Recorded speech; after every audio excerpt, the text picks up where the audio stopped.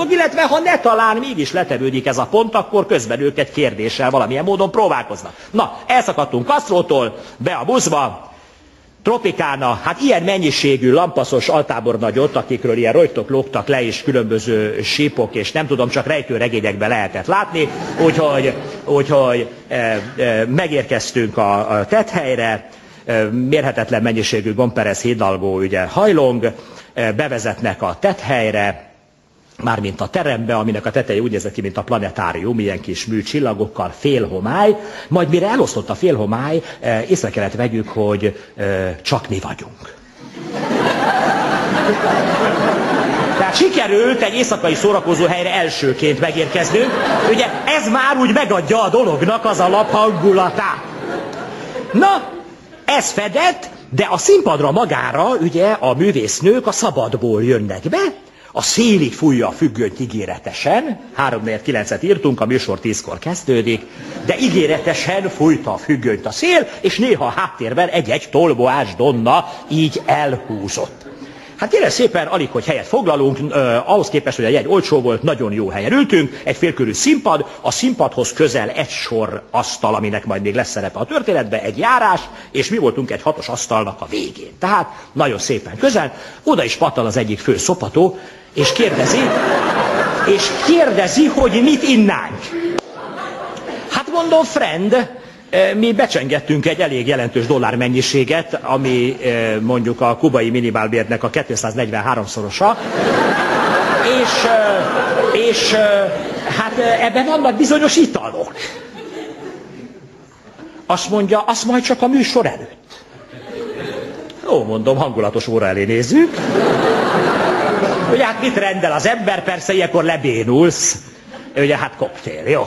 Jó, hát rendeltünk egy mohitót, amiben kivételesen rum is volt, én meg nem vagyok ilyen nagyon koktélos, úgy eszembe jutott, hogy Cuba Libre. Ugye ez olyan jól hangzik, ha tudtam volna ez a kólásszar, akkor nem kérek. Na mindegy. Na mindegy. Megjön a két koktél, hát azt így hervatagon elkezdjük fogyasztani. Na most arra hamar rájöttem, hogy ha én a koktélt olyan tempóban fogyasztom, mint ahogy a fröccsöt szoktam, akkor én a műsorból nem látok semmit ezt csajokkal is megtettük boldogult urfikorunkban, hogy még nem jó, még nem jó, már nem jó, ugye? Na, hát csont szárazon ottan, csont szárazon ottan, ottan kortyolgatjuk, a, kortyolgatjuk a koktélt, hát mondom, se tévé, se könyv, hát mondom, drágám, beszélgetni fogunk tisztelettel. Ez bármilyen furcsa. Hát én három 4 tízkor már annyira rossz állapotban voltam, közben lassan telt a terem, amiről azt gondoltuk, hogy soha nem fog megtelni, hogy ráhúzódom a ruhatárba, ruhatárra, mert ott láttam egy tévét, és belenézek a Castro folytatásába. Na mindegy, Közben a középső, a, a, a színpad melletti sort ilyen Weisswurston hízlalt hanzikkal feltöltötték, és ilyen másfélvázsás németek ültek ilyen picsányi skystockikon, és próbáltak ott, próbáltak ott hercigeskedni. Na most természetesen, hogy a publikumot megláttuk, amelyik úgy nézett ki, mint egy amerikai kertmozi közönsége, és ezzel mindent elmondta, tehát a ruházatunkkal kapcsolatos gátlásaink azok teljes mértékben oldódtak. Na most eközben a maradék négy helyre leült mellénk négy olyan soviniszta francia kispolgár, hogy ránk se néztek. Mondom, iszom még egy kortyot, és akkor a trianont azért finoman megpendítenének. És szemétládák. De ugye, de várjanak, de, de, de, de nem, hát, de, de asszony, de asszony, de nem, hát most képzeljék el, hogy hát nem akartam én velük beszélgetni, de hát könyörgöm, mégis egy asztalnál ülünk, nem? Hát akkor gondoltam, hogy Buenos noches, vagy Dias, vagy How do you do nyúlhugy, vagy Good evening, vagy nem? Hát valamit mondunk, bonsoiré, und pissoiré, nem? Hát mégis valamit kialakítunk. Na most mi nem nagyon, nem nagyon burkoltunk otthon, és hát úgy a koktél hatására, hogy kezdtünk félelmetes tempóban éhesedni, tudtuk, hogy majd kapunk majd valami pici kis ellátmány, miközben sovinisztáik rendeltek négy akkora biszteket, hogy lelógott a tányérról, úgyhogy a megaláztatásunk még ezzel is kvázi eh, teljesebbé vált, már megint ők nyernek, ugye, szóval már, már, már éppen ették magukat Brassó felé, aztán felkanyarodtak, ugye most már kassánál esznek, ugye, ba, hát szörnyű, szörnyű volt az egész, szörnyű volt az egész. Na kérem szépen, kérem szépen, tíz óra előtt néhány perccel elkezdték szétosztani az illetményt. Két személy kapott egy üvegrúmot. Na most ugye nyilvánvaló volt, hogy ezt ott nem fogjuk elfogyasztani, de ahogy már a rum landolta az asztalon, már feltettük azt a kérdést, hogy akkor most ezt ugye hazavisszük. A rum mellé adtak egy nagyon pici pesgőt, ami, hát egy ilyen kis üveg pesgő, az olyan, ahogy Rejtő Jenő mondja, mint a nyári öltő mellénye, rövid és értelmetlen. Tehát, tehát, tehát ennyi pesgővel nem nagyon lehet mit csinálni. Na, ezt betuszkoltam a sovinisztájék jégbadellájába, mert mondtam, az a mi jégbadellánk is, szóval azért, azért nem úgy van, szemétládák. És, és egy doboz úgynevezett tropikólát. Tropikóla volt nálunk is a kóla előtt, ilyen műanyag hatású kis demizsomban. Az úgy nézett ki körülbelül, mintha a bejáratos Moszkvicsból leengedték az olajat, leszűrték a spént, és egy kis fagiforral megbolondították. Vagy ahogy ugye ecserés szokták barátaim mondani, hogy Fabri úr, letagadom, hogy a kezembe volt. Tehát ebbe a kólából hogy egyet kortyoltam, és éreztem, hogy ez nekem, ez nekem nem pálya. Na, megint a függöny lebbenik, hátul mennek el a szóval, szóval halad a dolog, szép lassan ugye megtelik a, megtelik a hely. 10 óra 18 perckor a fölő smokingban, alul fekete farmerban és rébők sportcipőben egzisztáló karnagy beintette a színpadon a két élő zenekart, majd ebben a pillanatban elén pattan szopató, és azt mondja, hogy 10 dollars please. Hát mondom, mely szó hagyták el odvas fogaid rekesztékét? Hát mondom, ich bezahlen pagare show 65 dollárs, és apád amúgy se üveges, mondom. Hát másfél órád lett volna, hogy bekaszáld ezt a nyomorult 10 dollárt, ami egyébként a kétszerese annak, mint ami a legdrágább koktél Havannában, de az már abban a szállodában van, ahol a Hemingway lakott, az 511-es szobában, és ezt a tetőteraszon ihatod, miközben olajos mozgású ö, kubaiak vernek és ütnek és fújnak különböző hangszereket. Ez kétszer annyi, mondtam, no ten dollars, mondom, osonjál el majd after you, after you, after shave. Ugye én szeretnék a showbiznisben feloldódni. Hát kérem szépen, a nyitó kép az egészen fantasztikus volt. Jönnek a csajok, részben a színpadon, részben pedig a székek közötti három járásban. Ez volt, én csak a magam számára adtam ezt a fantázia nevet, hogy a csillárok bevonulása. Minden egyes csajnak a fején egy komplet jablonec csillár volt. A középen egy akkora dinamóval, pontosabban trafóval, mint egy kukta fazék. Tehát nem kis nyaki munkálatot jelentett nekik ezt az akciót ugyebár végrehajtani. Hát jó van, lement az első kép, csillárok bevonulása, jablonec, ugye. Én nekem már voltak halk kérdőjeleim a produkcióval kapcsolatban, de hát ezt egyelőre hát sovinisztáikkal eleve nem osztottam volna meg, meg hát vártam, hogy azért valami történik. Na utána jöttek a különböző életképek, Amerika felfedezése, Indián fantázia. Na most én hamar rájöttem, hogy maszk ide, maszk oda, hiába vették le a jablonec csillárt, hát ezek ugyanazok a csajok. Ugye, hát kérem szépen, sietek leszögezni, a produkció nagyon jó volt valószínűleg a NDK jégrevűből, jégrevűből lepattant tisztázatlan nemi szereplő koreográfus állíthatta színpadra, ugyanis ezek mind balett művek voltak. De én ugye ismereteimet színes magazinokból és filmekből merítem, ugye, tehát én láttam, hogy mi újság a Riói Karneválon, tehát én a magam részéről egyenletesen töltött óriási disznóhúson és vitaminon hízlalt, barnára sült seggeket vártam. Na most ebbe az ensemble sikerült Kuba legkisebb mellő és legkisebb seggű nőit összeszedni. A legjobbnak is olyan segge volt csak, mint a Csonka Andrásnak. Röviden ennyit tudok mondani, tehát hangsúlyozom, ez a maga nemében ez a maga nemében egy nagyon színvonalas produkció volt, de én nem erre vágytam. Én arra vágytam, hogy ne tessék itt művészkedni, hanem lássam ezeket a, hát már-már majdnem, nem is mondom, hát szóval ezeket a segzeteket, ugye, különböző tollazatokkal. Hát anyám, én nem ilyen lovat akartam. Na kérem, tiszteletem, kicsit kezdtem unni a produkciót, kinézek balra, Hanziék asztalához, Na most nem tudom, hogy tudják-e, ezt rádióban elég nehéz szemléltetni, de vannak olyan emberek, akiket a sors olyan fizimiskával áldott meg, hogyha nem is szomorúak, vagy nem is sírnak, olyan az arcuk görbülete, mintha azonnal sírásra akarnának fakadni. Na most kinéztem, és egy ilyen Hanzé állt előttem, ilyen Gusztáv ajkakkal, ilyen hihetetlen szomorúan így nézett maga elé. Nyilván valamilyen német, ugye ilyen tömegturista szegény, aki életében, életében még nem csalta meg a feleségét, ha igen, akkor a szín kék és citromsárga színekben tud ez megjelenni. Általában a sós-tengeri széltől kicsit rozsdásra mart kazánlemezből egy ilyen arte poverás, meglehetősen rustikus megjelenésben. Na most a baloldalra megérkezik a korábban népköztársaság, korábban Magyar Ifjúság, korábban Stálin, korábban Andrási, korábban ismét Sugárútra, ahol 85 éve nem tataroztak. Szóval ne, ne húzzuk ki magunkat olyan rettenetesen ebben az ügyben. Egyébként a, a valóságsók azok havannában értelmezhetetlenek, mert minden az utcán történik, és mindenki hal minden.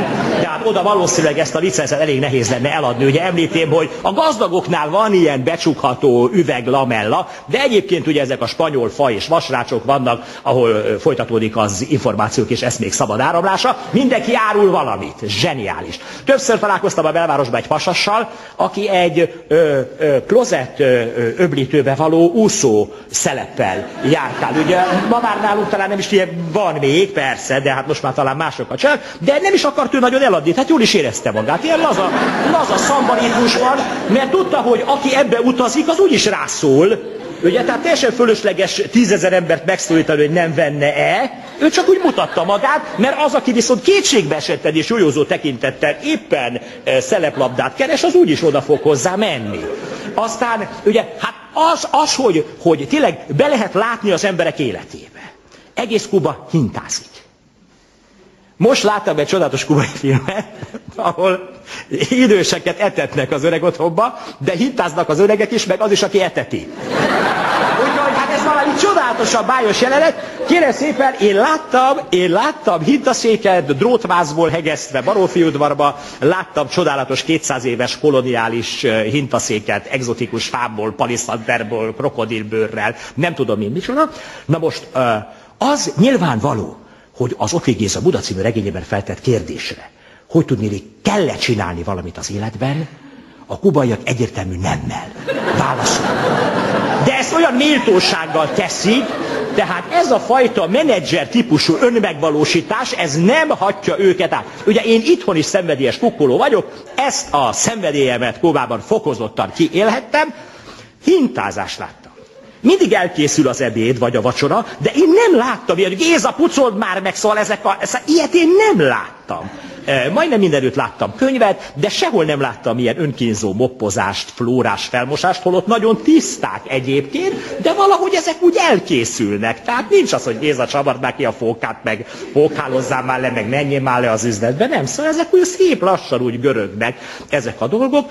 Természetesen ugye nagyon jó, gyakorlatilag nem hal senki éhen, és ez abban a térségben ez eredmény, jó a közbiztonság, erre ők joggal büszkék, hát ez a, hogy úgy mondja, a diktatúrának egy mellékterméke, vagy egy előnye, ugye nyilvánvalóan nem nagyon van például koldus. Mert tartás van. Rengeteg tömegjárműven utaztunk, finom szappanillat van. Mert azt mondják, hogy a kubai, ha enni sincs, de egy szappant megvesz. Ez valami ilyen spanyol hagyomány, és nagyon-nagyon, tényleg nagyon tisztán jelennek meg. Na, ismét most egy kicsit titesbe csúsztam. Ott tartottunk tisztelettel tehát, hogy egy nagy térre érkeztünk, ami így finoman le volt pukkanva, és ahol ha benézel az egyes helyiségekbe, nem hogy azt nem tudod, hogy milyen bolt, hanem azt nem tudod, hogy bolt-e egyáltalában.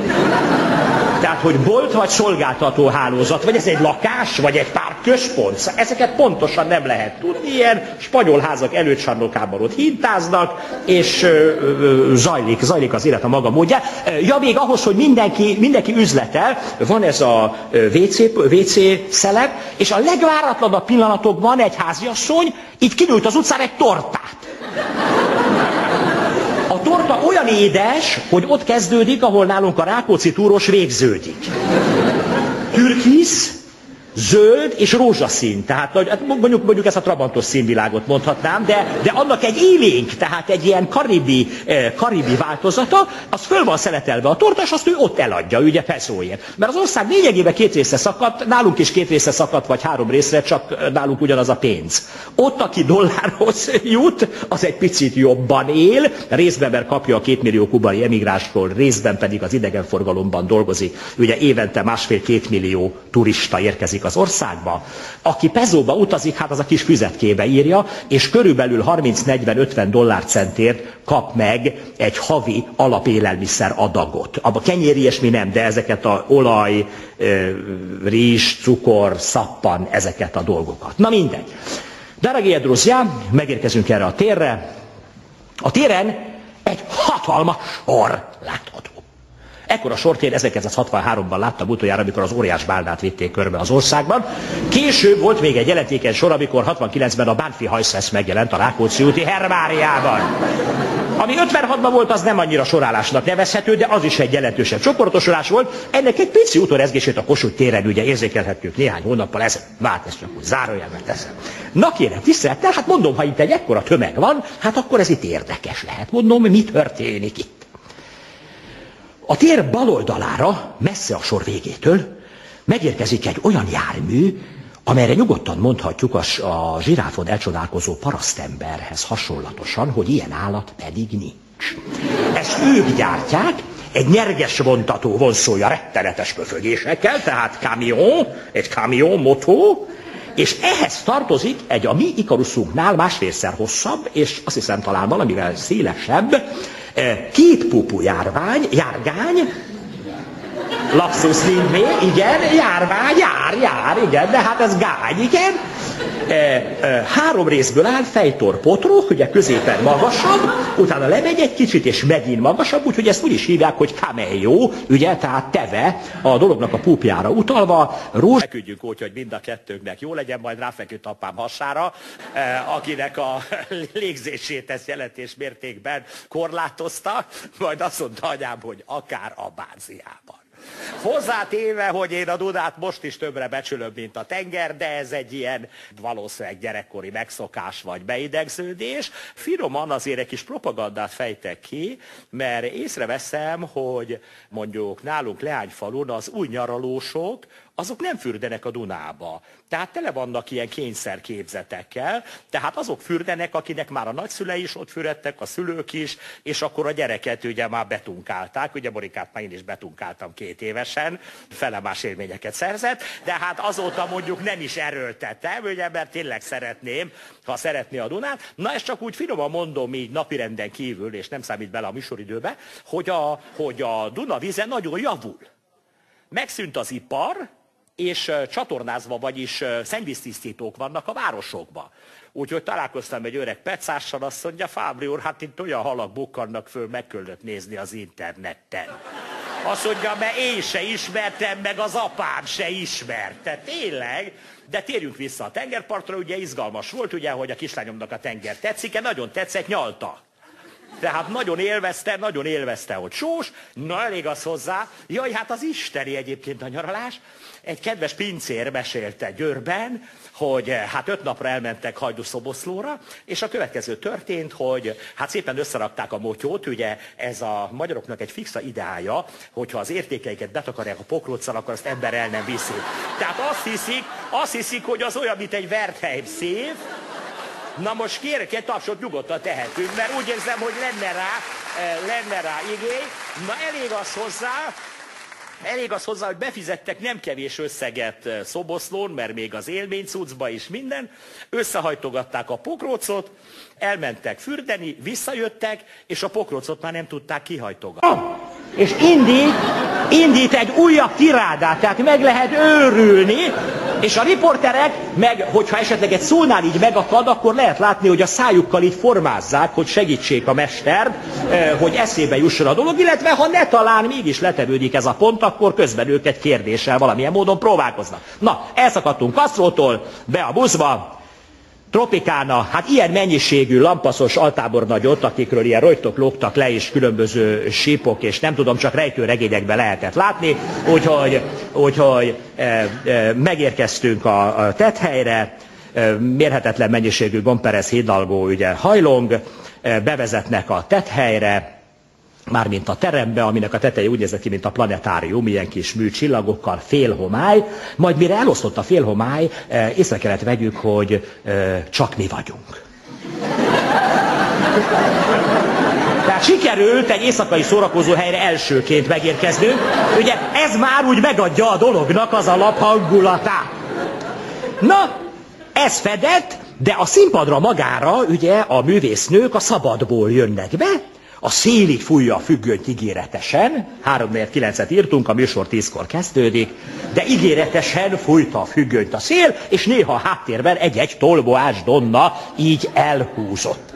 Hát kérem szépen, alig, hogy helyet foglalunk, eh, ahhoz képest, hogy a jegy olcsó volt, nagyon jó helyen ültünk, egy félkörű színpad, a színpadhoz közel egy sor asztal, aminek majd még lesz szerepe a történetben, egy járás, és mi voltunk egy hatos asztalnak a végén. Tehát nagyon szépen közel, oda is pattal az egyik fő szopató, és kérdezi, és kérdezi, hogy mit innánk.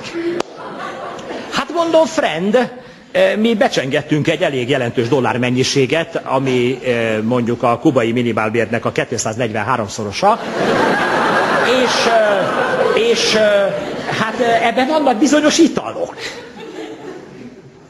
Azt mondja, azt majd csak a műsor előtt. Ó, mondom, hangulatos óra elé nézzük. Ugye hát mit rendel az ember, persze ilyenkor lebénulsz. Ugye hát koktél, jó. Jó, hát rendeltünk egy mohitót, amiben kivételesen rum is volt, én meg nem vagyok ilyen nagyon koktélos, úgy eszembe jutott, hogy Cuba Libre. Ugye ez olyan jól hangzik, ha tudtam volna ez a kólásszar, akkor nem kérek. Na mindegy. Na mindegy. Megjön a két koktél, hát azt így hervatagon elkezdjük fogyasztani. Na most arra hamar rájöttem, hogy ha én a koktélt olyan tempóban fogyasztom, mint ahogy a fröccsöt szoktam, akkor én a műsorból nem látok semmit csajokkal is megtettük boldogult urfikorunkban, hogy még nem jó, még nem jó, már nem jó, ugye? Na, hát csont szárazon ottan, csont szárazon ottan, ottan kortyolgatjuk, a, kortyolgatjuk a koktélt, hát mondom, se tévé, se könyv, hát mondom, drágám, beszélgetni fogunk tisztelettel. Ez bármilyen furcsa. Hát én három 4 tízkor már annyira rossz állapotban voltam, közben lassan telt a terem, amiről azt gondoltuk, hogy soha nem fog megtelni, hogy ráhúzódom a ruhatárba, ruhatárra, mert ott láttam egy tévét, és belenézek a kasztró folytatásába. Na mindegy. Közben a középső, a, a, a színpad melletti sort ilyen Weisswurston hízlalt Hanzikkal feltöltötték, és ilyen másfélvázsás németek ültek ilyen picsányi skystokikon, és próbáltak ott, próbáltak ott hercigeskedni. Na most természetesen, hogy a publikumot megláttuk, amelyik úgy nézett ki, mint egy amerikai. Ez volt, én csak a magam számára adtam ezt a fantázia nevet, hogy a csillárok bevonulása. Minden egyes sajnak a fején egy komplet jablonec kristálycsillár volt. A középen egy akkora dinamóval, pontosabban trafóval, mint egy kukta faszék. Tehát nem kis nyaki munkálatot jelentett nekik ezt az akciót ugyebár végrehajtani. Hát jó van, lement az első két csillárok bevonulása, jablonec, ugye. Én nekem már voltak halk kérdőjeleim a produkcióval kapcsolatban, de hát ezt egyelőre hát sovinisztáikkal eleve nem osztottam volna meg, meg hát vártam, hogy azért valami történik. Na utána jöttek a különböző életképek, Amerika felfedezése, Indián fantázia. Na most én hamar rájöttem, hogy maszk ide, maszk oda, hiába vették le a jablonec csillárt, hát ezek ugyanazok a csajok. Ugye, hát kérem szépen, sietek leszögezni, a produkció nagyon jó volt valószínűleg a MDK jégrevűből, jégrevűből lepattant tisztázatlan nemi szereplő koreográfus állíthatta színpadra, ugyanis ezek mind balettművek voltak. De én ugye ismereteimet színes magazinokból és filmekből merítem, ugye, tehát én láttam, hogy mi újság a Riói Karneválon, tehát én a magam részéről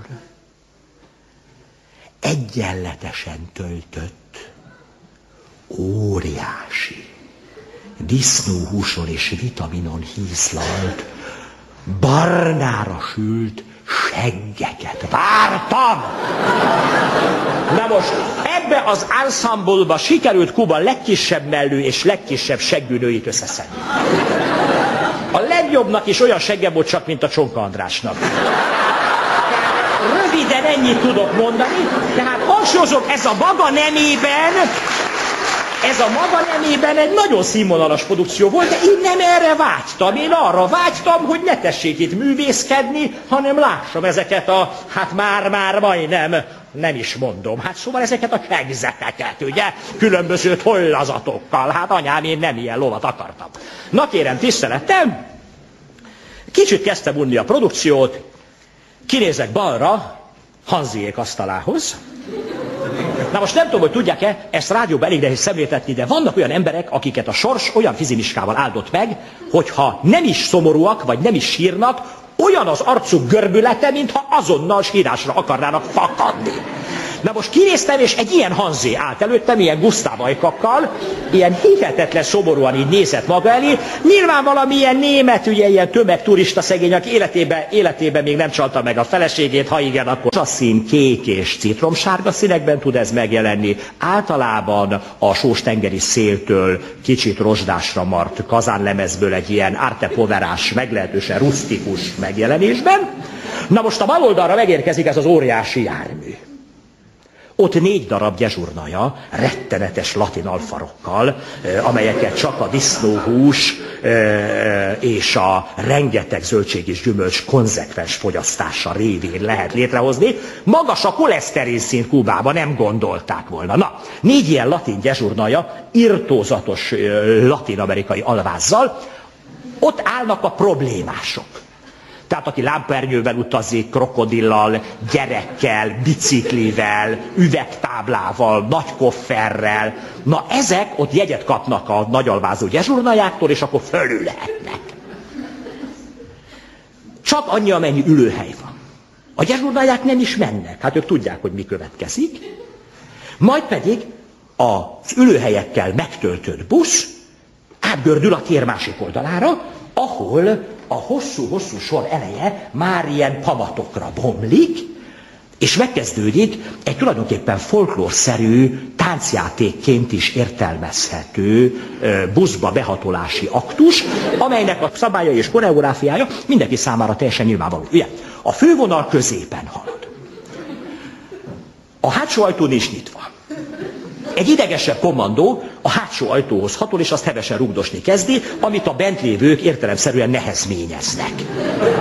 A profibak a sásszatyorból célszerszámot vesznek elő az ajtó befeszítéséhez, a Zogenante Pajszert, ugye? Tehát annak, annak egy ilyen e, kubai változatát, Na most a középső ajtónál két csoportot különíthetünk el. Az egyik nagyon sovány és nagyjából egyforma magasságú kubaiakból áll. Az ő funkciójukat akkor még nem értjük. Eközben már kicsit hátralépve, mint ahogy a jampik álltak a hatos villamos megállójába, hogy mi úgyis felférünk, mert majd mi a tujára ugrunk, ugye? Az esélytelenek, az esélyesek nyugalmával, ugye ezt kell mondanom, nem az esélytelenek nyugalmával, áll a Fernando ugrócsoport. Na most középen, középen feltöltik a buszt, és amikor már a fejek, tehát amikor már teljesen betöltődött, akkor a Fernando ugró csoport olajozott puha latin mozgással odalép ezekhez a nagyjából egyforma méretű sovány emberekhez, és bedobja őket fejre. Ugye, tehát azért lényeges, hogy ezek nagyjából egyformák legyenek, hogy ne legyenek szélesebbek, mint a busz. Tehát akkor már értjük. Na ekkor Perez ad ugye kettő darab, ja, a profik, a profik és a protekciósok azok már a vezetőfülkében vannak. Akik közben Perezzel vagy Lópezzel ott erősen üzletelnek, López adja a gázfröccsöt, a kettő darab dízel füstben eltűnik a teljes verda, és vízes és vízes és hátán, és hát ugye ez nekünk nagy élmény volt, mert a, az NDK Westerneket ott forgatták, illetve azon a környéken, ugye Golygo Mitics főszereplésével, írt fel Golygo Mitics, üsd be, még most is, még most is élője, nekünk az egy nagy dolog volt, úgyhogy volt egy barátunk, aki az ilyen vadregényesebb tájakat csak úgy hívta, hogy Mitics. Tehát mentünk túrázni, az saj nagyon Mitics. Fú. Tehát volt egy szakadék, vagy egy völgy, vagy nem tudom micsoda. Tehát ebből ő, ebből ő közneve, köznevet fabrikált, és mondta, hogy baromi mitics. Na hát most már vajókázni lehet, meg van ilyen kis busz, meg mit tudom én, de azért tettünk egy jó nagy túrát, és úgy eszembe jutott, hogy hát azért egy kicsit marketingelni kell a dolgokat. Ugye itt vannak ezek a trógerskótok, én voltam a Lokneszi tavon, Hát annál rondábbat és reménytelenet nem igen lehet látni. Tehát lapos, mint a seggem, semmi növény, teljesen, teljesen érdektelen, és ezek furmányosan kitalálták, hogy legyen ugye a Loch Nessi szörny. Na most Plitvicének ilyenre nem lenne szüksége, de én azért úgy, úgy felvetettem. Volt ott egy kis idegenvezetőnő, ott a japcsikat egy picit ottan próbálta egybe tartani, ami nem egyszerű vállalkozás, ugye. Nagyon sok japán úgy megy haza a nyaralásból, hogy fehér az egyik szeme, ugye, mert mindig ott van a videókamera. Tehát ezek mindent ezek mindent. Isteniek nagyon udvariasak. Tehát ez egy pár éves történet, de idefűzöm, hogy bementem csöbelni a Mariotba, és két japán benyitott, és végig, amíg én befejeztem az ügykezelést, így bólogattak. E, és hát, eh, ahogy elkízott prostatámat nézem, nem is baj, tehát ezt felfoghatjuk egy ilyen kis drukkolásnak is, szóval édes palit, de akkor mondtam ott a kis idegenvezetőnőnek, mondom, mert emlékszem arra, én is sokat idegen vezettem Magyarországon, és az amerikaiak fölhúzták az agyamat, tehát mondjuk megkérdezték a várba, hogy a Szent István szobor tetején az az a korona? De nem úgy kérdezték, hogy annak a mása, hanem itt is. Hát mondtam, akkor, akkor megkérdezték, hogy a parlamentben lehet-e cigarettát kapni. Meg szóval ilyeneket ne, nem is mondok. Zárójelbe amerikai barátaink védelmére tegyük hozzá, hogy az ő történelmük csak 200 éves, de jelentem, ez őket nem zavarja. Ugye, tehát ez az állandó történelemmel való harc, ez a mi problémánk, és ha felhúzták az agyamat, akkor a halászbástyát eladtam, mint 13. századi románkori, románkori műemlék, mondom, ne szemétkedjetek, 13 century, everything is original, Roman style, eh, make a photo, és kész, és, és eh, Na elég az hozzá, mondtam az idegenvezető kis csajnak, hogy, hogy hát azért egy, szóval szép, tényleg nagyon gyönyörű, megrendítő, de egy kis titóbunker az azért el kellene. Aztán később bevadultam, mondtam, hogy kéne egy ilyen Vinetú barlang, ugye egy kis, valami kis indián romantika, ilyen műmiticsekkel, egy pár paci, ugye berendezve. Zárójelben az egyetlen értelmes alternatív ötlet, hogy ez senkinek nem jut az eszébe, ugye, megy a kötélhúzása a Liget Projecten, hogy tényleg valaki fölvetette, hogy hát mi nem lehet lovagolni. Hát az isteni lenne.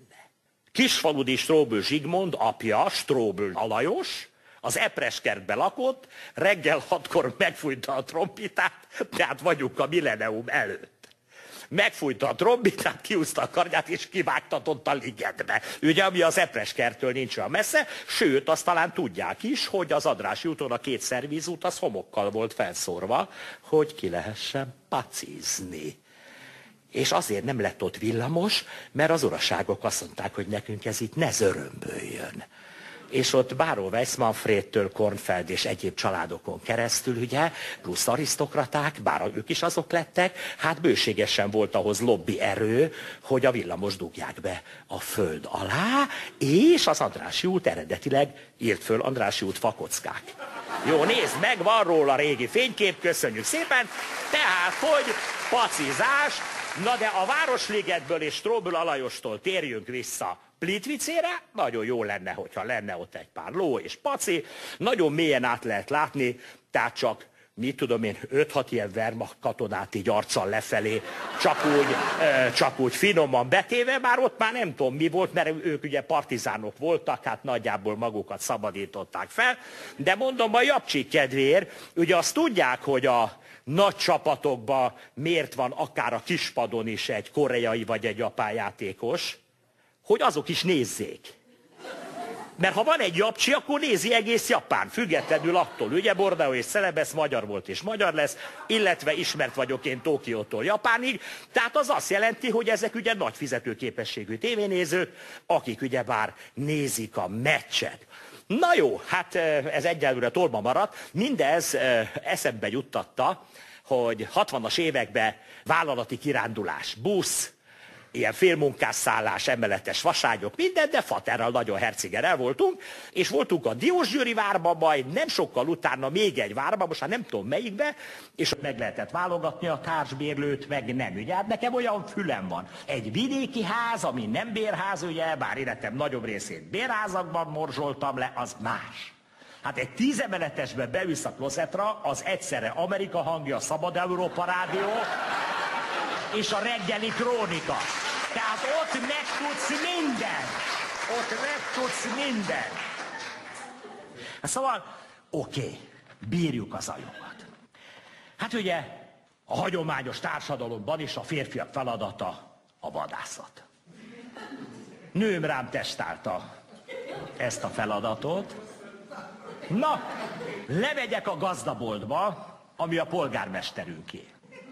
Na, tudtam, tudtam. Van azért egy pici különbség a fiúkhoz képest. Neki húsz évig előtte már gazdaboltja volt, nem is rossz, és utána lett polgármester, nem fordítva. Na elég az hozzá, lemegyek, ott mindig mindent kapok, többek között egércsapdát is. Van ilyen kis pattanós egércsapda, otthon én nem tudtam beállítani, vissza kellett menni pótvizsgára, hogy oktassam ki, és akkor erre lehet valami kis finom falatot szúrni. Hármat fölraktunk ebből a pattanósból, másnap fölkelünk, hát Chuck Norrisra vette a figurát, mindegyikből kiéve a kaja, és szétdobálva a három, ez, ez még játszott is ezekkel. Szóval teljes vereség, tehát tényleg olyan volt, mint hogyha, mint hogyha Chuck Norris, vagy nem tudom, valamelyik ilyen szupersztár, vagy Fandám, ott kész, minden szét volt dobálva. Hát mondom, hát lehet, hogy nem ízlett neki a kaj. Azt mondja, nőm, te hülye vagy. Jó. Na most akkor eszembe jutott gyerekkoromba, és az egy humánus megoldás, hogy dióval feltámasztunk cserepet, és azzal nem hal meg az egyér. Vagy nem feltétlenül. Itt kinyitvan, azt mondták. Plusz van egy másik, azt is vettünk, ami ragasztós. Na, elmentem a fogorvosomhoz. Hmm, hát mondom, egér. Azt mondja, ő is vett ilyen ragasztós egércsapdát. Azt mondja, hát élt még az ő kis egere, és fogta és alkohollal lemosta ezt a kis ragasztót, hajszárítóval megszárogatta, és a hármas határhegyen egy vendéglő közelébe elengedte, hogy az egérnek meglegyen, a, meglegyen. Úgyhogy én azt mondtam, hogy ezzel a ragacsossal egyelőre ne próbálkozzunk.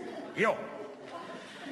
Délután az a legjobb, még Monika nem jött haza, valahol csángálnak, vagy külön órá vannak, akkor lehet kicsit így ejtőzni. Hallom, hogy pak, hm, mondom. Ez a miénk. És akkor gondoltam, hogy biztos él is, gondoltam megrázogatom, de nem akartam zavarni. Hát mondom, kimegyünk a kertbe, és akkor úgy is kiderül, hogy miről van szó. Nincs ott a dió. Kimegyek, félrehúzom. Gondosan elfogyasztva az összes dió, egér sehol. Hát mondom, ennek a felesem tréfa, közben már ha a fenekemmel hozzáérek, a, a kicsi a konyhánk, és ott ilyen papírzacskók vannak fölakasztva. És kicsit megzizzentettem a papírzacskót, Zsuzsi, ha, ha, tehát kialakult egy ilyen félelem bére, tehát egy teljes, hogy bármikor, akkor hallgatott egy rádióműsort, hogy ezek a szemétzacskót is megrágják, ez igaz, nálunk is megrágta, szappant megeszik, ilyen világban vagyunk, és ugye át, hogy a gyerek, meg fölmegy, és megeszi a gyerek csokiát, meg mi lesz itt, meg már, már víziók voltak, itt már patkányok támadása, Hitchcock, Hitchcock Madarak című filmje, rettenetes az egész. Na jó, reggel nőm vajas kalácsát fogyasztja, és látom, hogy elégedett.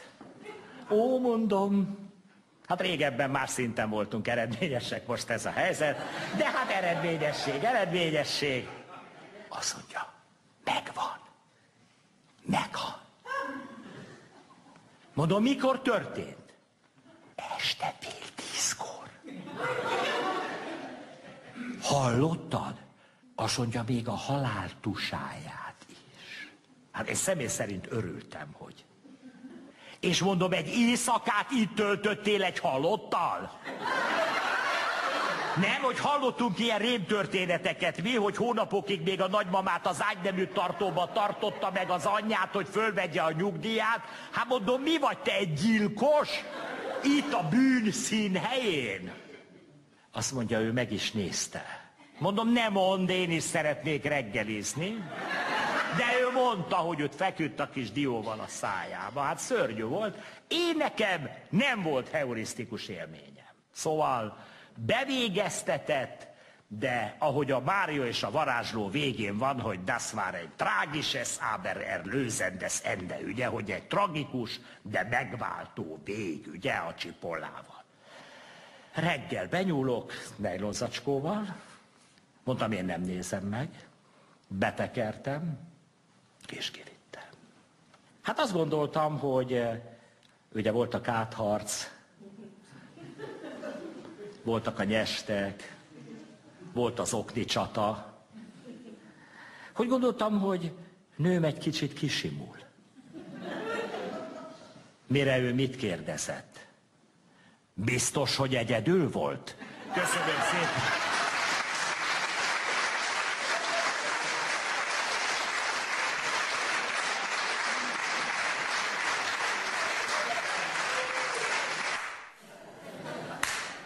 És jól megeszik őket, isteni volt, mert én nem nagyon bírom ki idegileg, hogy valami vízbe ne fürödjek meg, és mondom, hogy hát én bemegyek a Viktor, hát jön a szétja, értem magyar, ne, hát én bemegyek. Világ legnagyobb édesvízű tava, Nílus forrása, ott bugyog. Erre a haverunk, aki meghívott minket, elővette egy fényképet, amin annyi látható, hogy egy pasas épp jön ki a vízből, és innen a lába nincs. Mondtam, nem fürdünk, oké. Okay meg vagyunk beszélve, nem erőltetjük, tényleg krokodil, krokodil az krokodil. Tehát Hemingway-t nem tudták megmenteni, mert lezuhant a repülőgép, velem megjött a segítőember, aki szintén alig tudta az autóját beindítani, és akkor elkezdtünk itt dumálni, hogy biztos egy magas feszültségű vezeték megy alatta, meg mellénk át valami, mit tudom én. Azt mondja, most be van indítva, jöjjön utánam, és 50 méterenként megálltunk, és újra indítottuk, és minden pöpecen ment, megpusziltam, ciao. Annyira kipurcantam, hogy visszamentem az étterembe, hogy csövelek egyet, mondom a kis direktrisznek, hogy hol van a mosdó, és így mutatott fel a lépcsőre. Csak egy pillanatig nézett rám, azt mondja, vagy, és kinyitotta a Roki vécét. Ezért az egy poénért meséltem el tulajdonképpen ezt az egészet. Mondom, ennyire szarul nézek ki, vagy mi van, de úgy látszik, úgy látszik ez a, ez a autó körüli ügykezelés, ez teljesen megpurcantott, de én bementem a Rokiba, mondom, nem szórakozom, hát menjen az emeletre, akinek Imre az anyja. Csöveltem egy kultúrátat, elhagytam a területet. Másnap beszélek a hangmérnökünkkel, Zsonóval, és elmesélem a sztorit. Azt a Sanyi, hát te még hiszel a mesékbe? Hát ilyen nincs, hogy magas feszültségű vezeték. Ezt az autót el akarták lopni. Két-három autóval arrébb ott ült a csávó a kompjúterrel, rááll a te kulcsodra, megcsinálja a kulcsot, a sarkon vár a haver, odaadja neki, az beül, és egyes perc alatt az autó már nem nálad van. És miért nem sikerült neki? Mert az én autóm az japáni, Ugye ma már azt a viccet, hogy mi a különbség a magyar és a japáni cigány között. Ugye a magyar cigány az orsós, a japáni meg kazettás.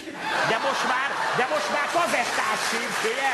Hát itt a kortársaim ezt értik, de hát a fiatalok ezt már nyilván nem értik, mert már kazettás vagnót se lehet látni. Például Kínába ott egyből a DVD jött, tehát nem is volt videokazetta korszak. Tehát annyira gyorsan fölvették a fordulatszámot, hogy Pekingben megvehettem volna a Hollywoodban még be sem mutatott filmet kínai felirattal. Hello everybody!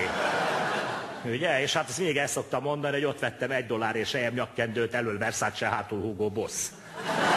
Úgyhogy, na elég az hozzá, szóval tessék figyelni, mert ezek a disznók blokkolják a dolgokat. Na kérem, még egy apróság. Vannak nagy média élményeim, sokféle. Nézték a tavasz 17 pillanatát? Wow! Én ott feledkeztem rendszeresen. Ugye ez 71-be készült, 71, 72, így valahogy. Állítólag, amikor bemutatták, akkor kiürültek a moszkvai utcák, még Brezsnyev elvtárs is azt nézte, ugye? Na kérlek szépen, Vyacheslav Tihonovnak hívják a főszínészt, ugye? Max Otto von Stirlitz, SS Standartenführer, valójában Maxim Maximovics Isajev. Na most ez azért érdekes, azért többen mondják a szakértők, hogy az SS az meddig nézett utána, mielőtt beléptél. Meddig nézett utána a családfá.